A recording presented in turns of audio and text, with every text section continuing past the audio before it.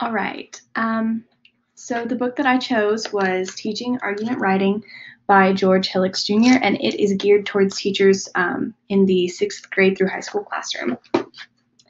If I were to summarize the core content of this book in a sentence, I would say that this book discuss, discusses what an argument is, um, how to teach it, and why it's relevant to teach it in schools, with a specific focus on critical thinking and writing in an academic environment from sixth grade to high school, and the content will carry students like all the way through college. The book gives real scenarios that the author experienced and then breaks down the pedagogical elements he used in teaching. There's also tons of example assignments and narratives of how this teaching would look in the classroom. Um, I chose this book because argument writing is my personal favorite writing to do, but it seemed like a challenge to teach. Um, this is because I didn't struggle with this style of writing when I was going through high school. It came really naturally to me. So I wanted to make sure that um, I was aware of the needs of my students in regards to this type of writing that I may not anticipate because I didn't have those struggles. So um, I picked this book thinking that it might give me some insight into some needs that students would have. This book highlights some common classroom um, argument writing concerns and paints a picture of what I might encounter as a teacher. So this book will be a useful reference for creating lessons and adapting lessons.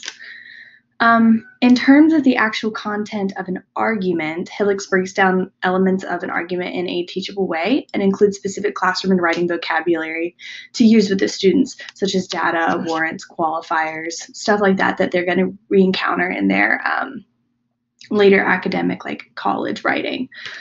Um, one concept that stood out to me from the beginning of the book was the concept of flow and how to create an environment that stimulates flow. Flow being when you're just so engaged and focused on your writing that time kind of moves so fast and you're not really paying attention to the world outside. So that's flow. Um, at first, I didn't see how flow was something that could be applied to argument writing. When it came up, I was thinking more like, um, creative writing when you get so engrossed in your activity.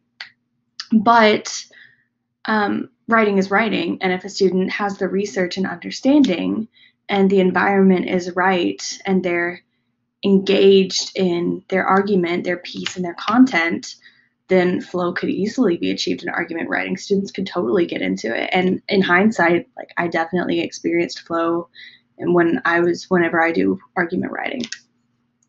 Um, another piece of information that I found interesting was the practice of writing an argument um, by using research first and then letting that influence your thesis instead of coming up with a thesis and then doing your research based on your predetermined thesis. This seems like it would make the actual process of drafting a thesis and argument much easier because the student already has an understanding of the content. It also allows them to learn their if their topic and uh, brainstormed thesis ideas uh, can even be defended. Um, this is in contrast to the way that I learned to write, where you come up with an outline and a thesis, and then you do research that only supports your pre designed plan. You look for your specific topic points, and sometimes you don't get the kind of content that could support your argument as well as if you'd done the research first. Um, so this seems more limiting to the argument than the methods that Hillocks suggested. And I definitely will be flipping my perspective of the writing process in terms of doing research and then coming up with a thesis in my classroom.